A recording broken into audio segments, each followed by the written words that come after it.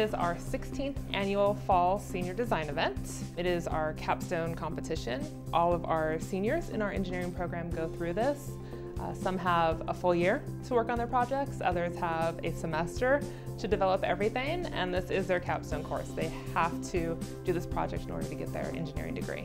Senior design is where the College of Engineering students present their senior design capstone projects, and uh, I read a grant that provides transportation and substitutes, and we bring uh, high school students to the senior design because we try to mimic that as well at the high school level.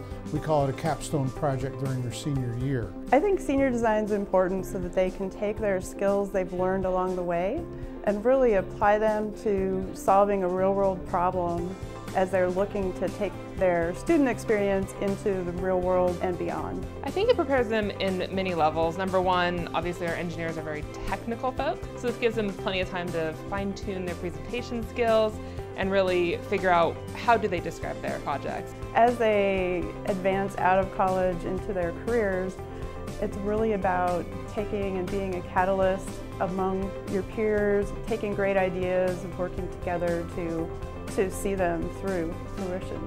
That partnership between the high school and the college is so valuable. The feedback that we get from the high school students that have transitioned into UNLV, they're having a great experience here. So um, hopefully we'll continue that in the future. I would encourage anyone to go into engineering that is passionate about problem solving, looking at ways for technology to help solve world's problems and just pursue their passion.